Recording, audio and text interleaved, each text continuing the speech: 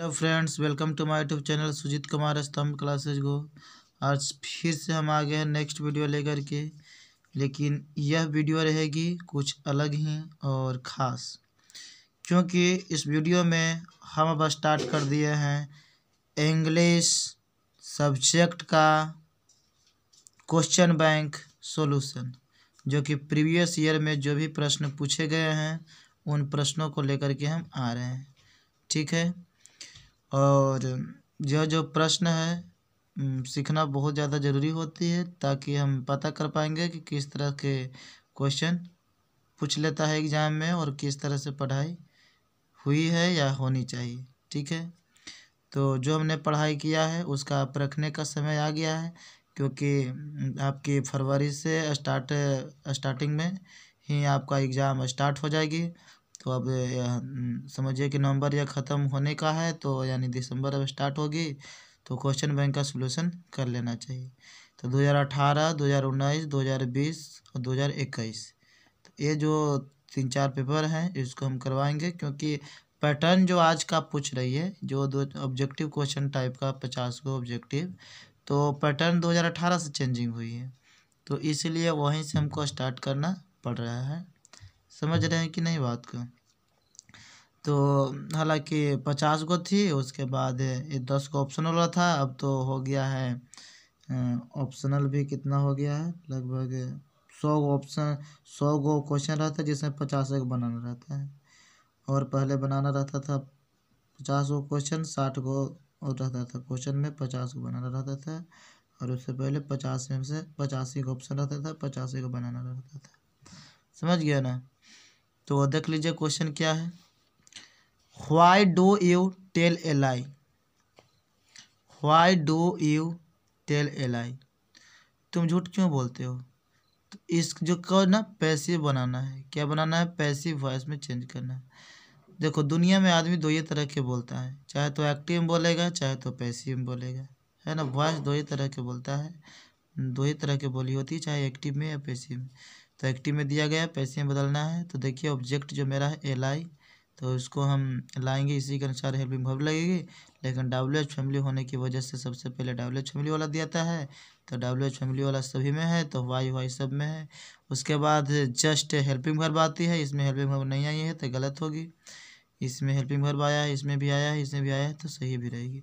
उसके बाद ऑब्जेक्ट रहेगा एल आई ठीक है ना? तो एल आई सिंगुलर है तो सिंगुलर वर्ब लगेगी, यहाँ भी सिंगुलर वर्ब है, यहाँ भी सिंगुलर वर्ब है। ठीक है? उसके बाद आपका भी थ्री लगेगा तो यहाँ पे टोल्ड भी थ्री है, यहाँ पे भी थ्री नहीं दे रखा है बी दे रखा है, जो कि मॉडल में ऐसा बनाया जाता है, जैसे कैन बी मे बी है ना शुड बी वुड बी तो इसमें तो मॉडल भव तो है नहीं है सब प्रजेंट इन्फिनिट टेंस का है। समझ गया ना? अब देखिए यहाँ पे बिंग दे रखा है तो इसलिए गलत होगा। यहीं से पकड़ा गया कि भी थ्री होना चाहिए था। तो बी थ्री नहीं है। है ना? तो इसका ऑप्शन क्या हो जाएगा? इसका ऑप्शन हो जाएगा सी क्या हो जाएगा? सी ऑप्शन हो जाएगा। ठीक है? काला पेन ले लेते हैं। ठीक है? देख लीजिए। अगला क्वेश्चन क्या है? हमारे पास कोई वैसा डिजिटल बोर्ड तो है नहीं, कोई मेरे पास कंप्यूटर तो है नहीं, कोई लैपटॉप तो है नहीं कि मैं इसको टाइपिंग करवा करके हम आपको बता सको, इसलिए क्वेश्चन बैंक को ही लेकर के हम इसी चीज़ पर हम बताते जा रहे हैं। टिक पल्ला मारते जाएँगे, जो भी लिखना है हम लिख देंगे। हमको तो समझने से मतलब है क्वेश्चन दिखाई देने से मतलब है, अगर वो सब चीज़ हो रहा है तो हमें ज़्यादा फ़ैशन में काम करने से कोई फ़ायदा नहीं है, हमें बस सीख जाना है। दिमाग में चला गया, वो सब ठीक हो जाएगा, ठीक है ना? ज़्यादा दिखावा करेंगे तो ये सब घाटा है हम लोगों के लिए। आई डॉट यहाँ पे देखना है ना? We are taught grammar by mister Singh's हमें मिस्टर सिंह के द्वारा ग्रामर पढ़ाया जाता है। हमें मिस्टर सिंह के द्वारा ग्रामर पढ़ाया जाता है।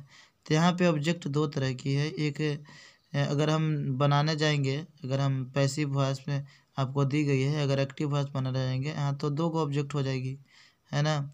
वी का अस हो जाएगा ऑब्जेक्ट और एक हो जाएगा ग्रामर ऑब्जेक्ट हो जाएगा। ठीक है ना? जब बनाने जाएँगे तो। तो देखिए तो सबसे पहले हम क्या लेंगे मित्र? कि मिस्टर सिंह। किसके द्वारा हमें ग्रामर पढ़ाया जाएगा? तो मिस्टर सिंह के द्वारा पढ़ाया जाएगा। तो एक्टिव में क्या होगा? Mister Singh teach mister Singh क्या करते हैं? पढ़ाते हैं। क्या पढ़ाते हैं? टीच ये टीचिंग है, गलत हो जाएगा। टाउट है, गलत हो जाएगा। विल है, गलत हो जाएगा। तो ये तो यहाँ पे गलत हो गया मतलब ये ऑप्शन राइट हो गया। चूँकि प्रजेंट इंडिफिनिट टेंस का है तो यह कौन टेंस का हो गया? प्रजेंट इंडिफिनिट टेंस का। ये हो जाएगा कुछ टीचिंग कर रखा है। प्रजेंट कंटिन्यूस भी तो नहीं अच्छी तरह से हो रहा है, क्योंकि हेल्पिंग वर्ब तो साथ में है ही नहीं। और यह क्या है? टाउट अस दे रखा है तो ई भी थ्री है डायरेक्ट भी टू दे रखा है। तो मान लिया जाए कि पास्ट इंडेफिनिट होगा तो प्रजेंट इंडेफिनिट का पास्ट इंडेफिनिट कैसे बन सकता है? और ये तो फ्यूचर में चल गया है आपका। तो इसीलिए यह ये ऑप्शन क्या हो जाएगा? राइट हो जाएगा। Mister Singh teach us mister Singh हमें पढ़ाते हैं। क्या पढ़ाते हैं? ग्रामर पढ़ाते हैं। देखिए अगला क्वेश्चन तीसरा नंबर। तीसरा नंबर क्वेश्चन है कि I dot dot here since morning यहाँ सिंस के बाद अगर टाइम दे रखा है तो आपको हैज़ बिन हैव बिन का प्रयोग करना होता है और पुश के साथ भी फोर लगती है। तो हैव बिन और हैज़ बिन ये क्या है यार? सिंस मॉर्निंग ठीक है? हैव बिन वेटिंग ठीक है? इसलिए यहाँ पे क्या हो जाएगा? आई हैव बिन हेयर मैं यहाँ पे इंतज़ार कर रहा हूँ सिंस मॉर्निंग सुबह से। मैं यहाँ से सुबह से ही इंतज़ार कर रहा हूँ। इसलिए I have been waiting sir I have been waiting here since morning होना चाहिए मतलब ये ऑप्शन राइट हो। अब आगे देखिए। You have been riding non stop for hours you dot dot be very tired तो यहाँ पे क्या होना चाहिए? बिल्कुल मस्ट होना चाहिए। क्योंकि you have been riding non stop for hours बतलाओ कोई भी अगर मान लिया जाए कि नॉन स्टॉप बस रहेगा या कोई भी वाहन अगर है तो उस पर तो चगना जैसे you must be you must be very tired ठीक है ना? मतलब यहाँ पे ना मतलब सबसे ज़्यादा ज़रूरी है कंपल्सन है। इसलिए ना मस्ट लगाना ज़रूरी होगा यहाँ पे। ठीक है ना? सकते हो नहीं से पावर दिखाना नहीं है आउट दिखाना नहीं है वुड की ज़रूरत नहीं है। यहाँ पे होगा you must be very tired तुम पूरी तरह से एकदम बिल्कुल थक गए। आगे देखिए question she run out of them out of the room she run out of the room अब कंबाइनेशन का संटे आ गया है क्वेश्चन वह दौड़ता हुआ रूम में गया। सी वाज स्क्रीमिंग क्या वह चिल्लाते हुए रूम में गई। वह दौड़ती हुई रूम में गई, वह चिल्लाती हुई रूम में गई। तो दोनों मिलाकर बोल देंगे कि वह दौड़ती हुई और चिल्लाती हुई रूम में गई। तो C she ran she ran she ran out of the room, she ran out of the room screaming scream मतलब चिल्लाती हुई वह रूम में चली गई। चिल्लाती हुई तो दौड़ती हुई रूम में चली गई। तो इसलिए यहाँ पे डी ऑप्शन हो जाएगा राइट ठीक है। वैसे भी ये तो होना ही नहीं है क्योंकि भी थ्री लग हुआ है सब्जेक्ट के साथ। तो डायरेक्ट भी थ्री तो आता नहीं है विदाउट हेल्पिंग वर्ब का यहाँ। इसलिए तो हो नहीं सकता है। और रैन आउट यहाँ पे है ही नहीं रैन टू दे रखा है। ठीक है ना? और यहाँ पे आपका पास्ट में है इंडेफिनिट में तो यहाँ पे दे रखा है परफेक्ट में दे रखा है। तो इस तरह से डी ऑप्शन ही राइट हो जाएगा। You mind standing up for a moment देखो। माइंड एक ऐसा भर्व होता है जैसे माइंड हो गया इंजॉय हो गया स्टॉप हो गया वर्थ हो गया, और सजेस्ट हो गया रिक्वेस्ट हो गया। इन सब के बाद ना हमेशा जिरंड का प्रयोग होता है मतलब भर्व का चौथा फॉर्म देखो, इस्तेमाल भी बोल है। तो ओड यू माइंड होगा। यहाँ पे क्या होना चाहिए? ओड यू माइंड जैसे ओड यू प्लीज़ होता है ना, उसी प्रकार से होगा। Would you mind standing up for a movement ठीक है ना? आगे देखिए। आई डॉ dot interested in metaphysics metaphysics आई डॉ डॉट इंटरेस्टेड इन मेटाफिजिक्स तो देखो I am always I have always mean हाँ ऐसा संभव है?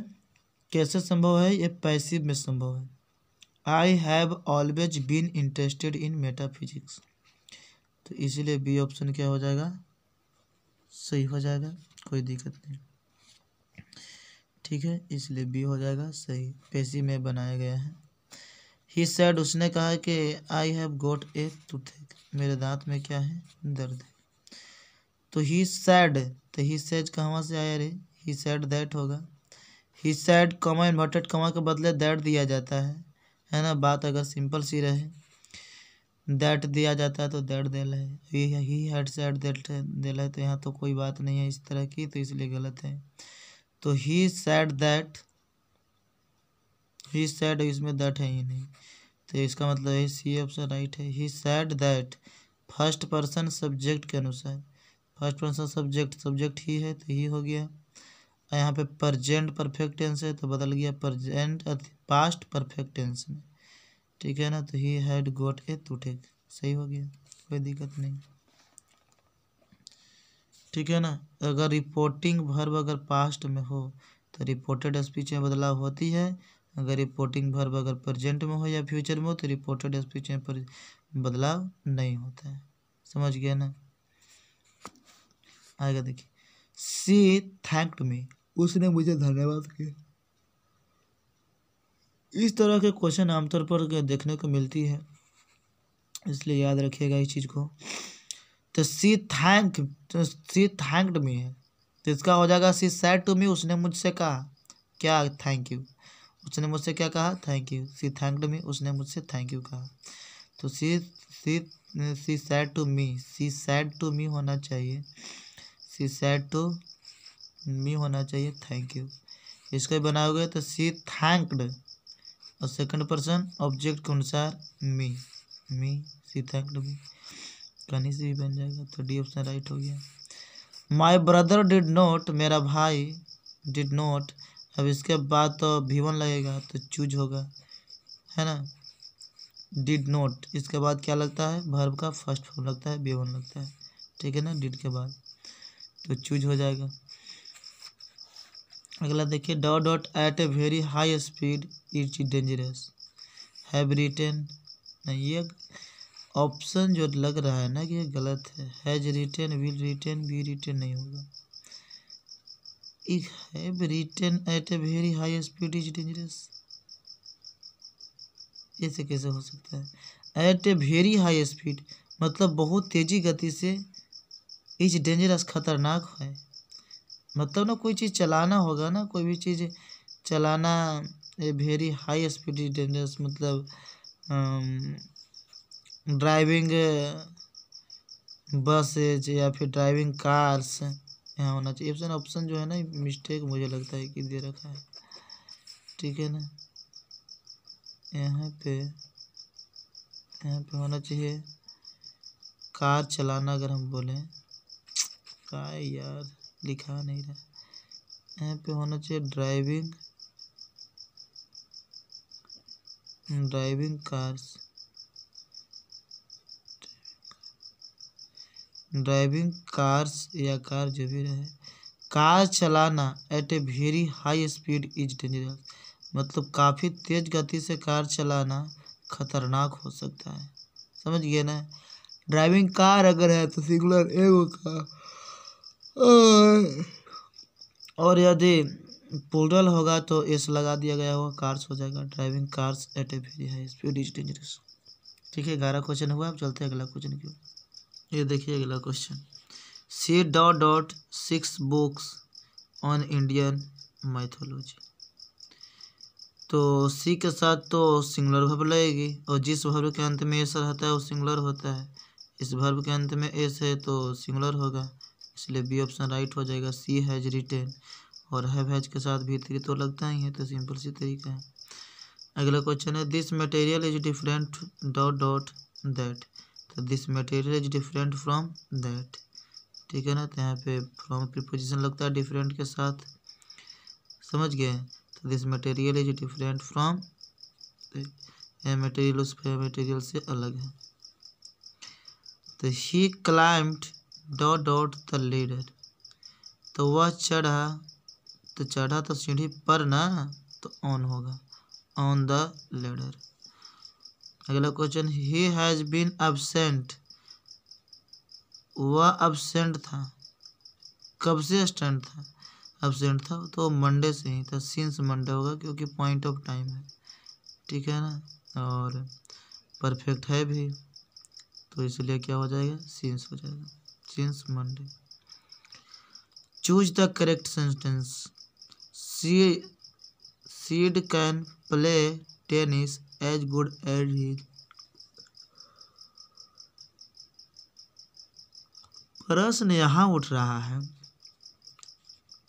कि तुलना इस भाई भाई में इस आदमी और इस आदमी में नहीं हो रहा है कि आप एज गुड एज कर दे रहे हैं तुलना ही खेल की हो रही है कि सीड जो है ना will play Sid play will play वो खेलेगा टेनिस टेनिस इज़ वेल नहीं इज़ वेल कैसे एज वेल होगा ना?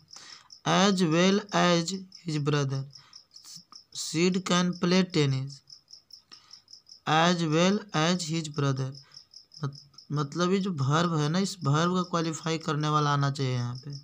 तो भर्व को क्वालिफाई करने के लिए तो एडजेक्टिव आती है आता है।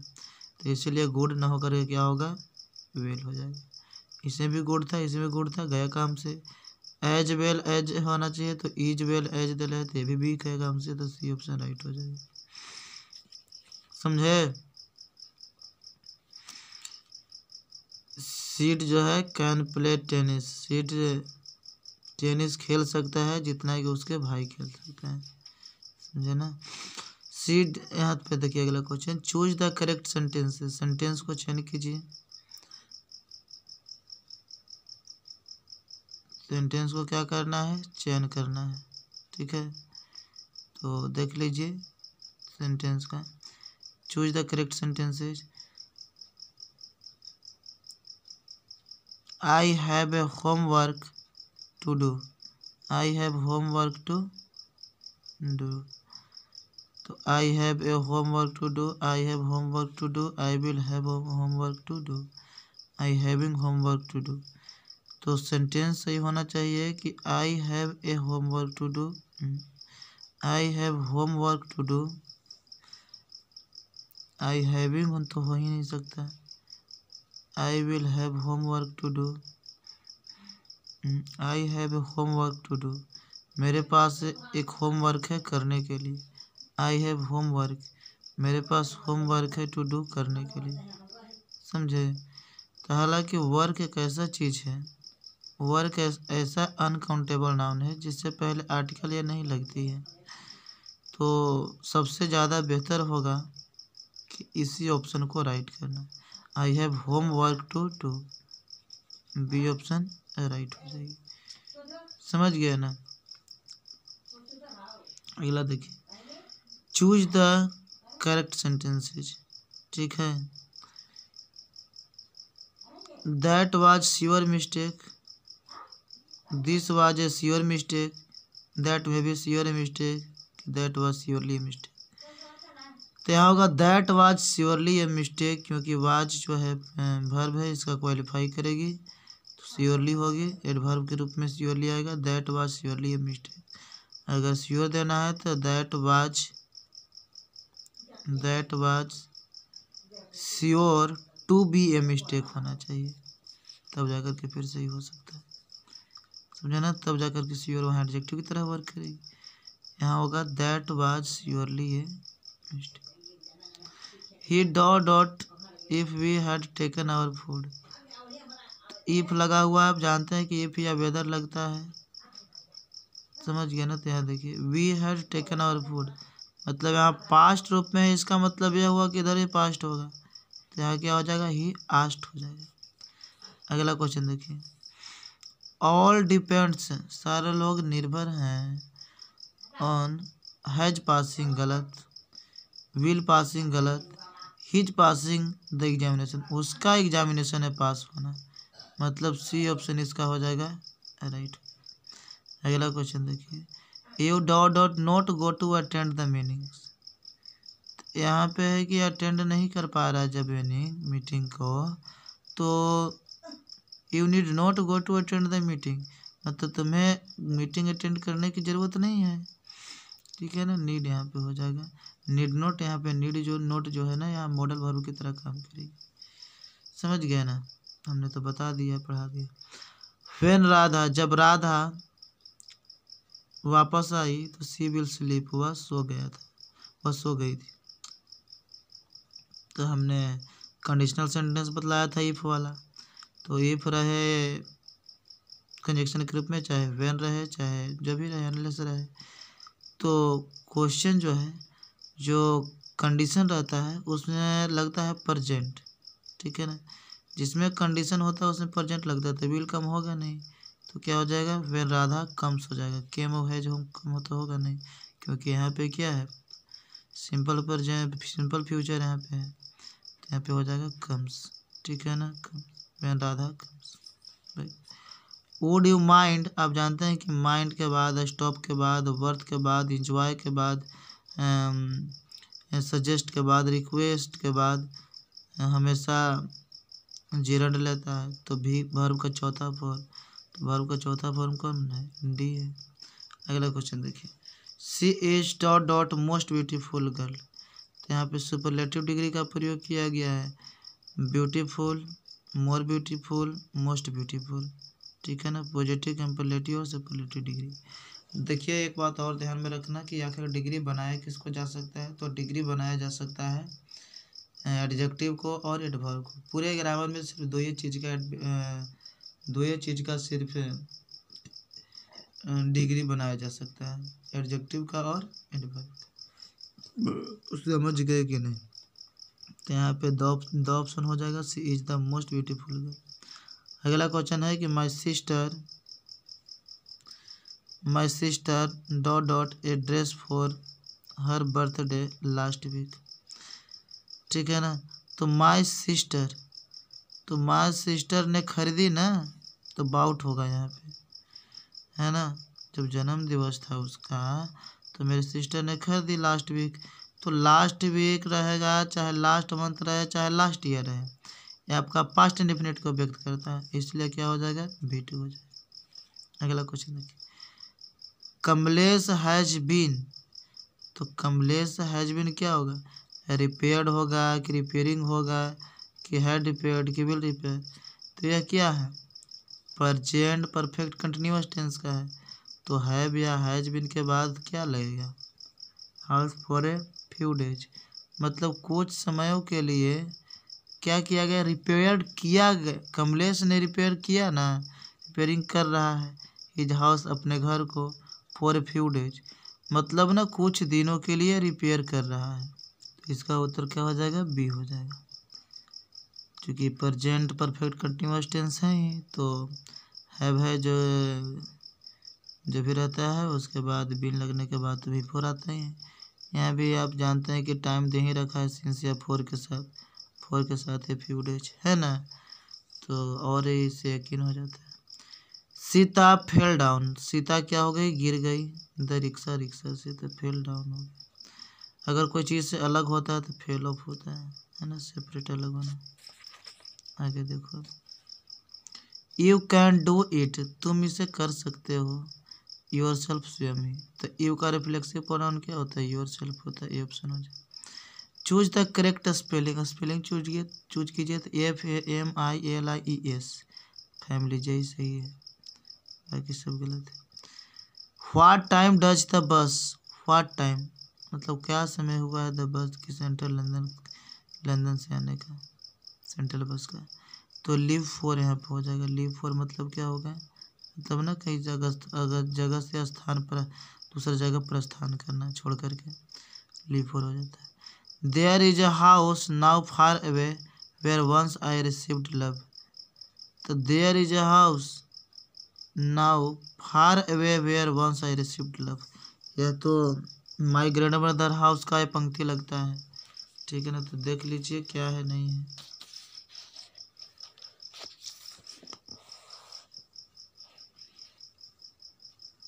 थोड़ा सा इसको सही कर लेते हैं। यह रहा। तो हो जाएगा क्या option my grandmother the soldier is a war poem होगा वार पोएम ठीक है ना? सोल्जर क्या था? War poem Kamala Das is Indian poetess यह भारतीय पोएटिस थी।